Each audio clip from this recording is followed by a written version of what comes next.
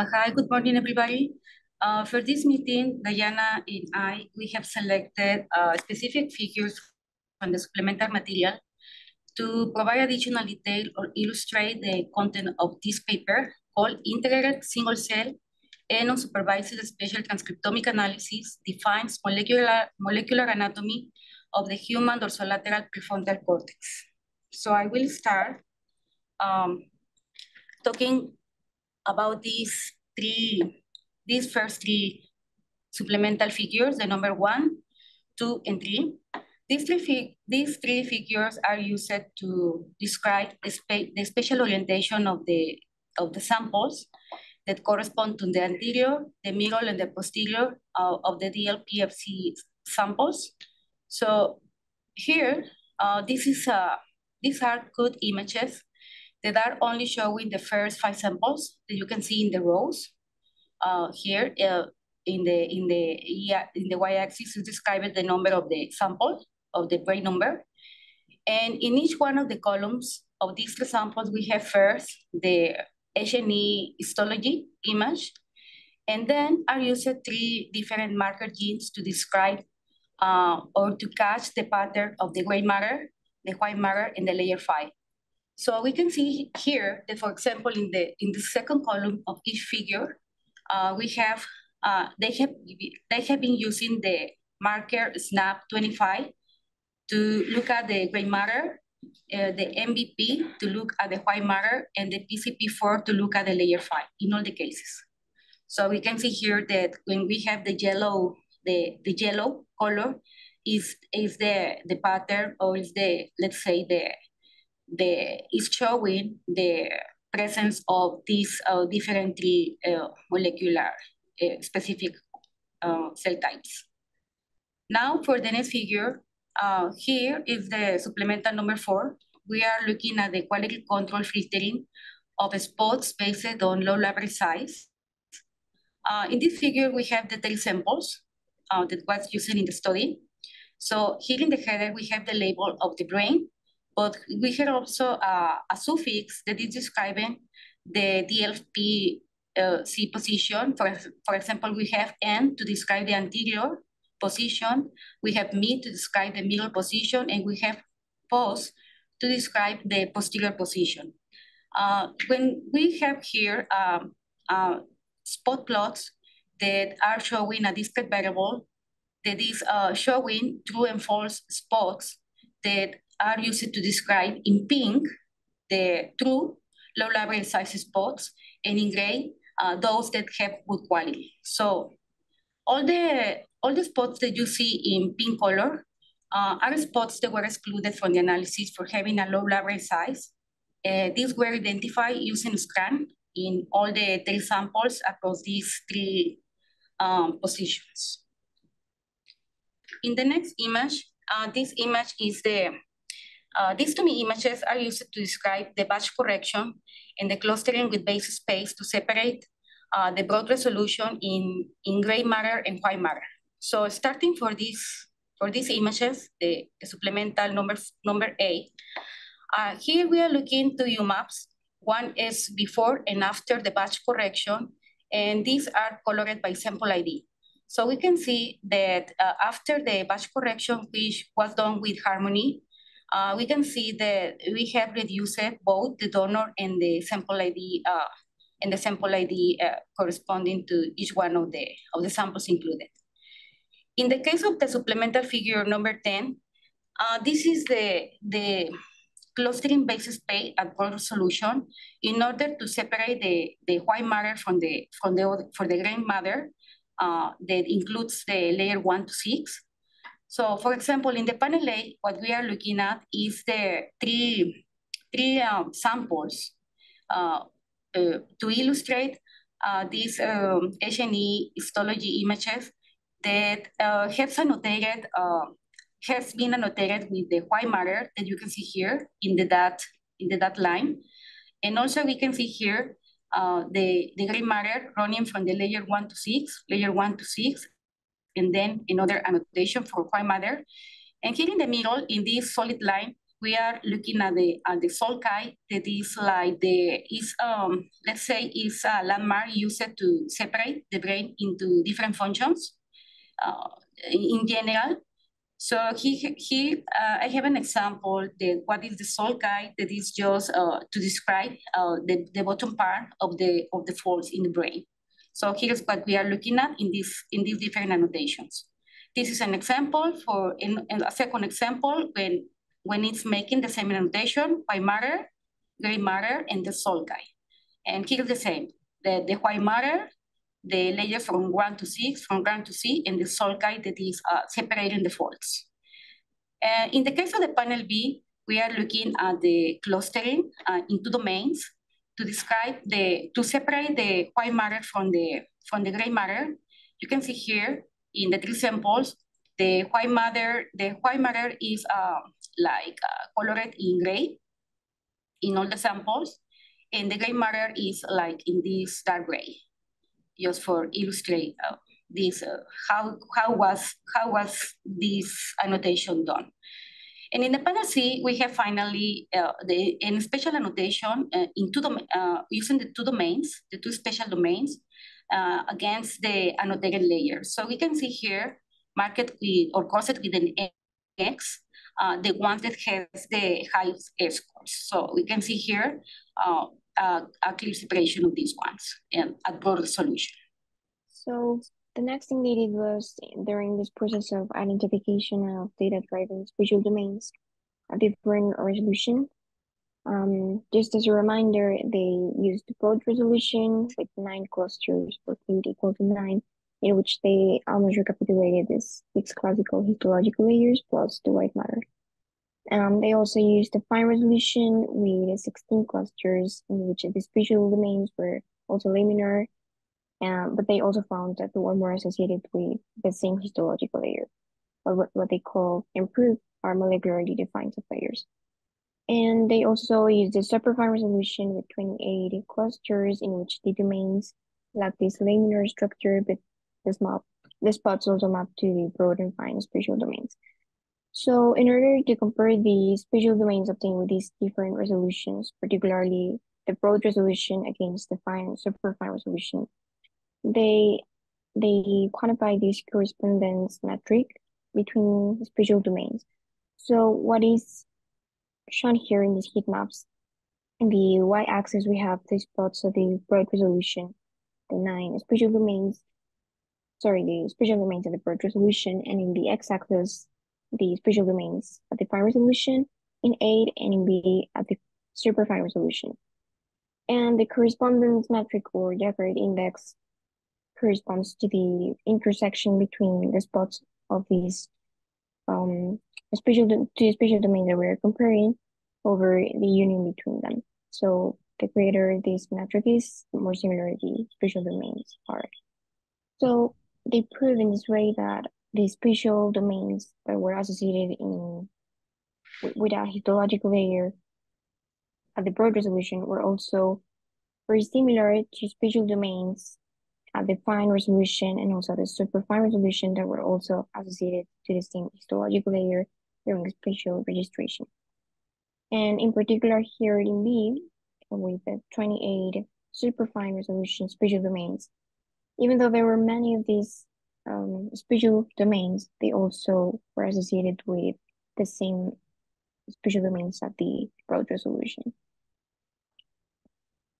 So the conclusion here even though here we have more of these clusters or spatial domains, they are not really adding more information because they are mapping back to the broad and fine spatial domain. That's what they conclude. And next, they also perform differential gene expression analysis on these spatial domains and also for the anatomical position of the samples. They used three models to perform these differential gene expression analysis the ANOVA model in which they assess for the differential expression of a gene in at least one of these spatial domains. The enrichment model in, in which they assess for the enrichment of the differential expression of a gene in one spatial domain versus the rest of the domains, and the pairwise model in which they assess for differential expression in one spatial domain versus another spatial domain. Um, here in this first plot, we have the density curves for the percentage of variance that is explained in gene expression per gene by each one of these sample label coverage. So we have the sample ID, BayesSpace, this corresponds to the spatial domains at the, at the broad and fine resolution. Then the subject sex, age, the donor, and the position, the anatomical position of the sample, because remember we have anterior, middle, and posterior. So what was remarkable here is that here BayesSpace seems to be contributing more to gene expression variance than the position, the anatomical position. And that was further confirmed when looking at the results of differential gene expression analysis. Here we have the density curves and the histograms, which is for differential gene expression expressed genes, of the enrichment T statistics for the genes. In, in, in purple, for differential gene expression analysis for the spatial domains, and red for the anatomical position. And what we can clearly see is that these enrichment T-stats density curves have, and I think it's more evident if we look at the histograms here, they have longer tails, which means that they are more differentially expressed and have lower adjusted p-values, lower p-values in comparison with the tables of these histograms here for differential gene expression between anterior versus posterior and comparing the anatomical position. And indeed, they obtain around or almost 6,000 unique differentially expressed genes or enriched genes in at least one of these spatial domains at the broad resolution compared to 500 12 differentially expressed genes enriched in anterior versus posterior um, in the human DLPFC.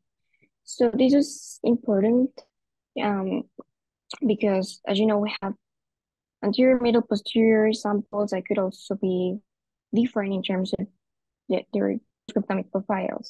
So it is important to also take into account that there could be differentially expressions just because of the anatomical position. But it seems like the spatial domain had a more much stronger effect on gene expression compared to this other part. This uh, for this figure here, we are looking at two supplemental figures, the number 19 and the number 23. And I come this, that is coming from the main figures to explain how uh, what's removed uh, one effect from here. So uh, these figures are using to, to, to do the identification of broad and fine resolution cell types clustering across the anterior, posterior, and axis of the DLPFC so first, starting for the supplemental figure 19, uh, here is the assessment of the quality control across the, the clusters uh, identified. So we have here three panels. The panel A uh, is uh, is uh, are the bar plots. Uh, uh, sorry, are the the box plots uh, showing the doublet scores, and in the panel B we have the uh, the related to the to the percent the percentage of mitochondrial rates and in the panel C, we have the total UMIs. So um, looking at these uh, three different uh, metrics used here, uh, it can be like uh, assumed or some kind inferred that high percent mitochondrial genes and low uh, UMIs have been driving the, the identification on one ambiguous cluster that is here, showing in gray color.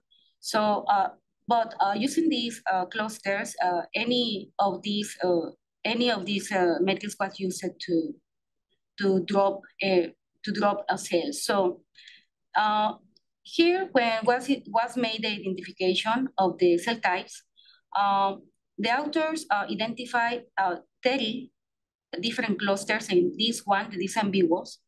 And this is ambiguous because it has cells corresponding to different cell types is the breakdown of, of the different cell types. So what was done is if this uh, specific cluster was removed in order to continue with the further analysis. So here in the, in the panel B, we are looking at the pre and post uh, uh, removed of the ambiguous cluster.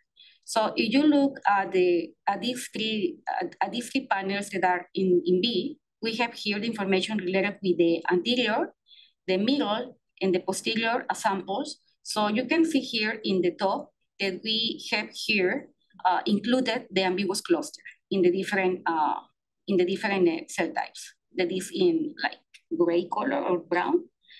Uh, and also we have here, uh, one, once that is removed, this ambiguous cluster, we have the cell, the cell proportion of all these samples. So uh, here in the, in the main figure, what we are looking is uh, the image, one that uh, the information is cleaned up, let's say, that was removed this ambiguous cluster. So this is this corresponds to the main figure three of the paper. So we can see here the, the ambiguous cluster was removed and also is uh, the cell proportion is, is clean. We are not seeing this, this cluster anymore.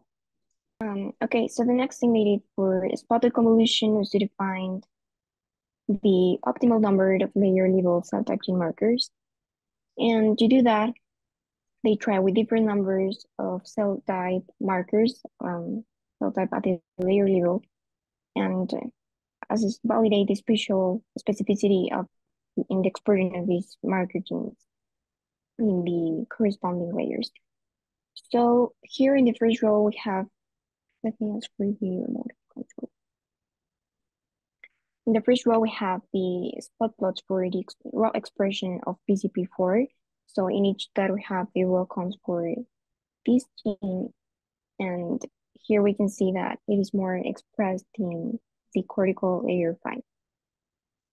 And then in the other three rows, we have, this is a little bit different. In each plot, we have the proportion of the, fifth, the top 15 cell type marker genes, 25 and 50 marker genes that are expressed in each spot, that is, they are non-zero expressed. And what they saw is that with 15 markers, the the expression of these markers is not so specific just to the I mean, it is specific. It's not. It's not seem to be very strong compared to 20 when choosing 25 markers. And when they selected 50 markers, the specificity, specificity is no longer highly conserved in just the spots of the expected layer. So they decided that 25 markers was the optimal number of cell type marker genes. And doing this for taking the top five, top 25 marker genes for all cell types of the layer level, they validate this spatial specificity in the corresponding layers. I'm not showing this, those images here because there were a lot of them, but it's basically the same as these, but just looking at the the expression of the marker gene for all the rest of cell types.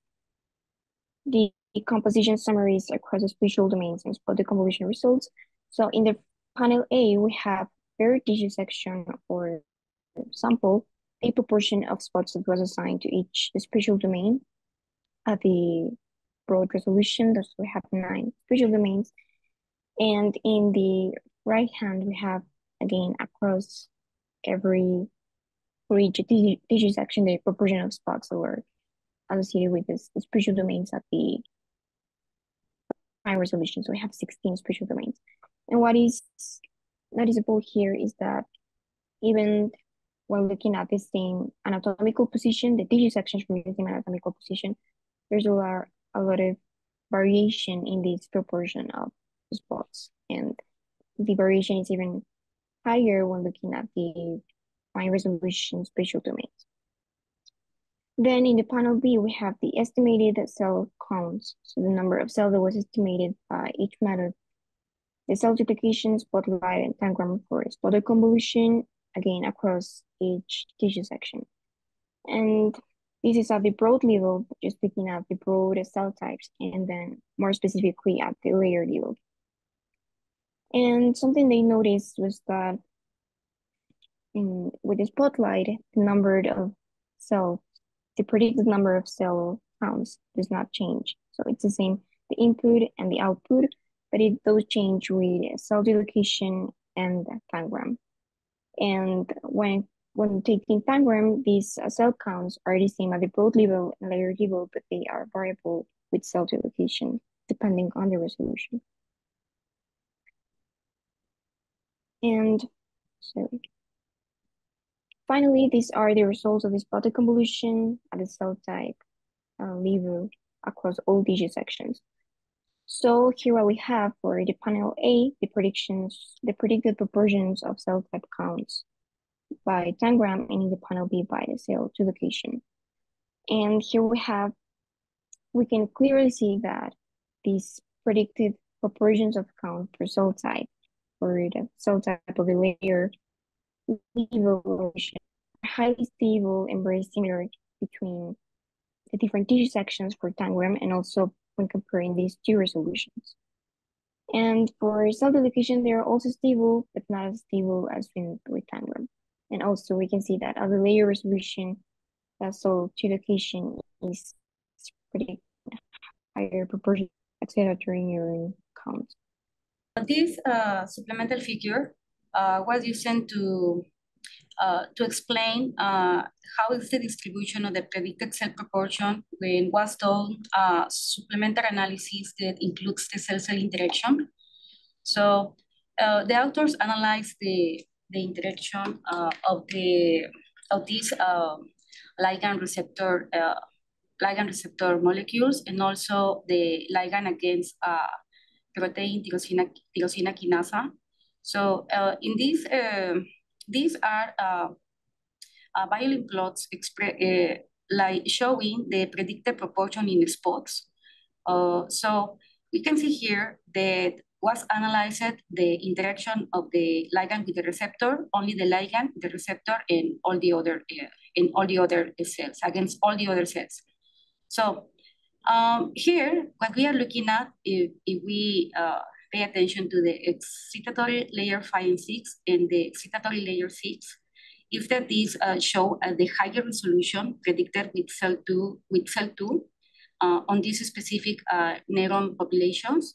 So uh, we can also see this pattern in other uh, in other layers, sorry, in other layers like in the excitatory layer 3. But uh, this pattern cannot be uh, seen, for example, in inhibitory populations, like in this case.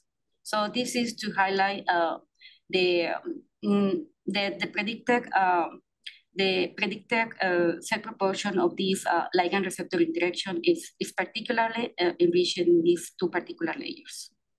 And finally, as part of the spatial registration of cell subpopulations that were seen by single true single seek data across neuropsychiatric disorders in eight PsychENCODE studies.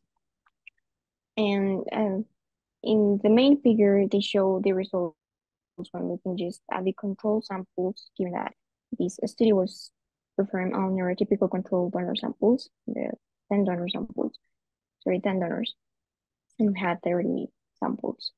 But in this case, we also want wanted to see how consistent the results were when also taking not just the controls, but also the cases in these studies.